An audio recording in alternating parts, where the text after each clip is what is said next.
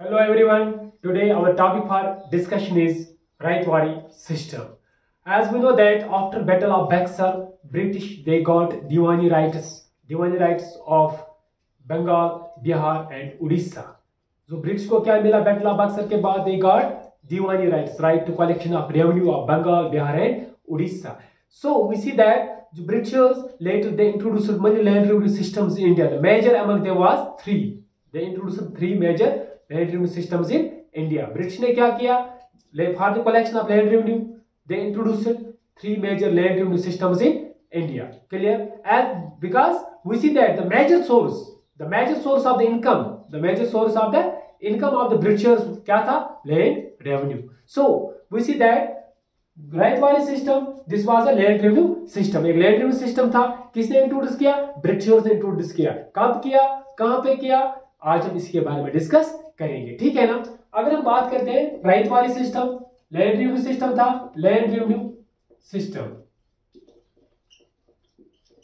this system was introduce इसको introduce किसने किया?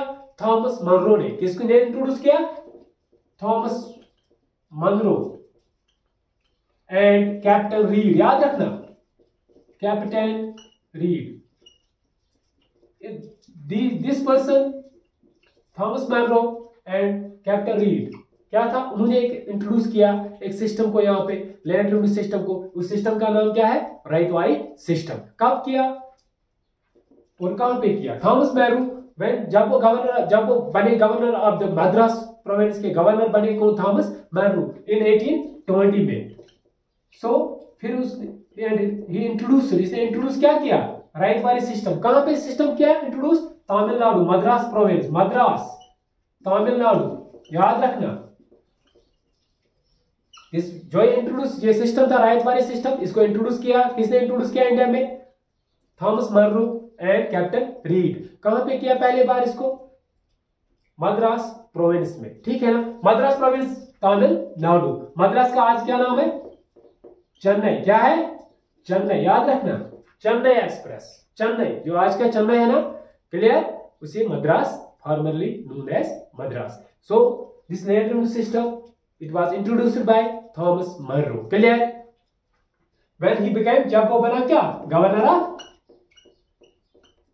governor of Madras province जब वो गवर्नर ऑफ़ मद्रास बना 1820 में उसने एक लैंड रेवेन्यू सिस्टम इंट्रोड्यूस किया वहाँ पे मद्रास प्रोविंस में। उस रेवेन्यू सिस्टम का नाम क्या है? Raitwari system. As we know that land revenue was one of the major source, one of the major source of income of Britishers in India. So British ने क्या किया? They introduced three major, major, three major, British in three major land revenue systems. याद रखना three major land revenue systems. किसने introduce किए? Britishers ने क्या क्या? Zamindari system, zamindari system Ryotwari system and Mahalwari system Mahalwari system याद रखना। British ने यहाँ यहाँ पे क्या इंट्रोड्यूस किया? Three major land revenue systems was introduced in India by Britishers पहला क्या था? जमींदारी सिस्टम हमने डिस्कस किया। क्लियर प्रीवियस में लेक्चर में हमने डिस्कस किया। जमींदारी सिस्टम जब इंट्रोड्यूस किया लॉर्ड किसने किया? कॉर्नवेलिस ने जब इंट्रोड्यूस किया जमींदारी सिस्टम सो इस सिस्टम का मेन एम क्या था? मेन एम यही था इस सिस्टम का। दैट जो जमींदार थे दे गॉट ओनरशिप राइट्स उनको ओनरशिप राइट्स मिले किसके? लैंड के। क्लियर कहाँ पे किया? बंगाल में किया 1793 में। जमींदारी सिस्टम को इंट्रोड्यूस लॉर्ड कॉर्नवेलिस ने। ठीक है ना? एंड जो जमींदार थे they were responsible for the collection of revenue so इसको हमने ऑलरेडी डिस्कस किया। नो टुडे आज हम डिस्कस क्या करने वाले हैं? Ryotwari system another land revenue settlement land revenue system ठीक है ना? इस सिस्टम को इंट्रोड्यूस किया, हमने डिस्कस किया। राइट्स कौन थे। राइट राइट जो है, इसे peasant cultivator peasant cultivator clear peasant ryot क्या है? Peasant cultivator clear Ryotwari system introduce किया किसने? कहाँ पे पहले इंट्रोड्यूस किया गया? तमिलनाडु, मद्रास प्रोविंस आज चेन्नई के ठीक है ना? लेटर इस सिस्टम को फिर एक्सटेंड किया गया। कहाँ पे? Bombay presidency East Bengal later it was extended Mumbai Mumbai presidency याद रखो। ईस्ट बंगाल ईस्ट बंगाल में इसको फिर इंट्रोड्यूस किया। पहले कहाँ पे? मद्रास। उसके बाद बॉम्बे प्रेसिडेंसी उसके बाद ईस्ट बंगाल उसके बाद कहा? Portion of Assam some portion of Assam जो आसाम स्टेट है आज। ठीक है ना? And कोरक C O R G Coorg याद रखना। कोरक कहाँ पे है? कोरक कहाँ पे एरिया है प्रेजेंट। कहाँ पे? कर्नाटका में। कहाँ पे पार्ट ऑफ़ प्रेजेंट कर्नाटका। याद रखना। Part of present Karnataka. Part of present Karnataka. ठीक है ना? So we see that this Ryotwari system Thomas Munro ने इंट्रोड्यूस किया। क्लियर कहाँ? मद्रास में। लेटर एक्सटेंडेड कहाँ पे एक्सटेंड किया गया? Bombay presidency East Bengal portions of Assam and Coorg clear? अब एम क्या था? ऑब्जेक्टिव्स क्या थे सिस्टम के? ठीक है ना? मेन एम था ब्रिटिशर्स का collection more and more from India collection of revenue collection of more and more from India but इसका इसका मेन एम क्या था? पहला जमींदारी सिस्टम में जमींदार क्या थे?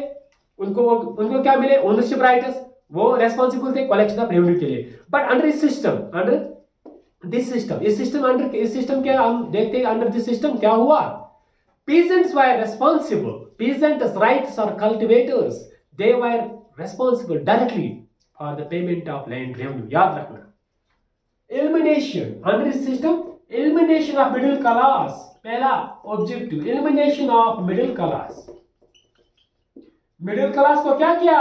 ब्रिटिश ने एलिमिनेट मिडिल क्लास कौन थे? जमींदार. जमींदार जो थे उनको एलिमिनेट किया गया। ठीक है ना? सो so, अब क्या है? लैंड रिव्यू सेटल किन से करेंगे? डायरेक्ट में ryots with peasants with peasants ठीक है ना? Directly settlement of land revenue with peasants directly settlement of land revenue with peasants उसी सिस्टम का नाम है राइतवारी सिस्टम ठीक है ना? राइतवारी सिस्टम सो पीजेंट्स जो थे ना देवर पीजेंट्स मींस उसमें पीजेंट्स राइटर्स कल्टीवेटर्स जो उनको क्या मिला इस सिस्टम से ownership and occupancy rights of the land उनको क्या मिले ऑब्जेक्ट क्या था the peasants they got ownership rights as well as occupancy rights as well as occupancy rights so under this system under this system इस system के अंदर अगर हम देखेंगे जो पीजेंट्स थे उन peasants under this system peasants जिन्हें राइट्स कहते हैं? राइट्स कंफ्यूजन कंफ्यूज मत होना। पीजेंट्स राइट्स और कल्टीवेटर्स उनको क्या मिला? दे गॉट क्या मिला उनको? Ownership and occupancy ownership and occupancy rights of land rights on land उनको ओनरशिप राइट्स मिले and occupancy right so peasants को क्या मिले? इस सिस्टम के under occupancy rights and ownership rights of land and they are indirectly and individually responsible for the payment of land revenue वो क्या थे आप? They are individually collect they are individually responsible वो ही रेस्पॉन्सिबल थे किसके लिए? So peasant was himself responsible himself responsible peasant क्या था? आप खुद था responsible for the payment of land revenue for the payment of land revenue directly. Directly with the British directly to British ठीक है ना? अब पीजेंट क्या था? इस सिस्टम के अंदर। पहला तो पहले तो मिडिल मैन कलेक्ट रेवेन्यू करते थे। बट अब पीजेंट डायरेक्टली सेटल करता था लैंड रेवेन्यू रेट्स किन के साथ ब्रिटिशर्स के साथ। ठीक है ना? इस सिस्टम के under so middle class middle class जो था, उसको क्या किया गया? एलिमिनेशन एंड क्लियर और पीजेंट्स को क्या मिले? दे कैन सेल जब ownership peasants can sell and mortgage peasant अब सेल भी कर सकता था मॉडगेज भी लैंड कर सकता था। ठीक है ना? क्लियर समझ सिस्टम का ऑब्जेक्टिव था। Main objective improve the conditions of the peasants British चाहते थे कि क्या? पीजेंट के कंडीशन को इंप्रूव करना। बट वो इस, जब इंट्रोड्यूस सिस्टम किया गया तो पीजेंट के कंडीशन और भी डिप्लोरेबल हो गए, और खराब हो गई ठीक है ना? क्योंकि लैंड रेवेन्यू जो टैक्स रेट्स थे लैंड रेवेन्यू रेट्स थे, वो बहुत ज़्यादा एक्सेसिव बहुत ज़्यादा हाई थे अंडर दिस सिस्टम ठीक है ना? सो द लैंड रेवेन्यू जो था 50 fifty five percent fifty fifty five percent जो था, वो क्या था? लैंड रेवेन्यू रेट्स जो डिमांड थी स्टेट डिमांड ठीक है ना? कितना था? Fifty five percent clear revenue fifty five percent land revenue rates था फिफ्टी फाइव परसेंट किनको करना था पे ब्रिटिशर्स को पीजेंट्स को आप कितने? 55 परसेंट पे करने थे। क्लियर डिमांड ज़्यादा थी। डिमांड फिक्सिंग जो ये डिमांड थी बहुत ही एक्सेसिव डिमांड थी। क्लियर किस राइट वाले सिस्टम के अंदर। क्लियर समझ आया? सो so, इससे क्या हुआ? We see that a class one class then वो कौन थे मनी लैंडर्स याद रखना। जो मनी लैंडर्स थे, महाजनस थे। Mahajans mahajans and money lenders they got benefited उनको बेनिफिट मिला।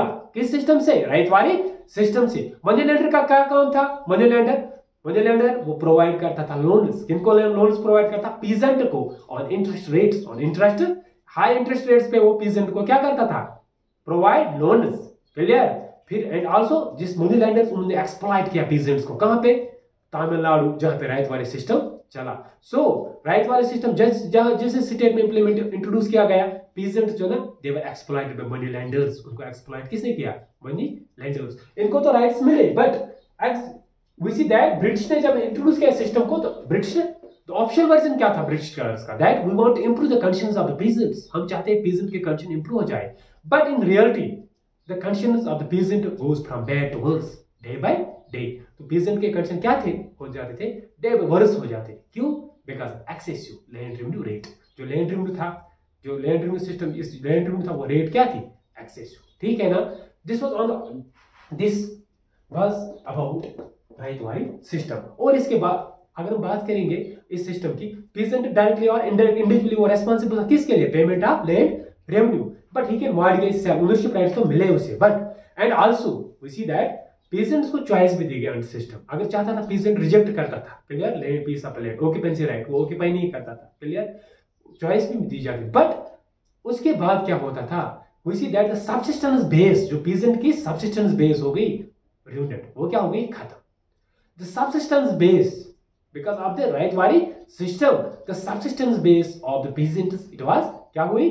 Ruined. It was ruined. It finally led to the famine India में क्या आया फिर? Famine security of the food food available ही नहीं था. ठीक है ना? क्या हुआ? Because of this was the economic policies economic जो इकोनॉमिक पॉलिसीज़ इंट्रोड्यूस किए इंडिया में, किसने? ब्रिटिश ने. रिज़ल्ट क्या हुआ? फेमाइन क्या आए इंडिया में? फेमाइन आए. Clear because of high land and also we see that जो लैंड था, इस पे ब्रिटिशर्स ने राइट जो थे जो मनी लैंडर्स थे वो कल्टीवेट वही वही करते थे कल्टीवेट जिनकी डिमांड थी। फॉर एग्ज़ाम्पल इंडिगो कॉटन वही कल्टिवेट ज़्यादा करवाते indigo cotton highly demand European market ठीक है ना? सो so, इससे क्या हुआ? जो इंडिगो था it spoil the fertility of the land fertile fertility of the land क्या हुई इस सिस्टम से?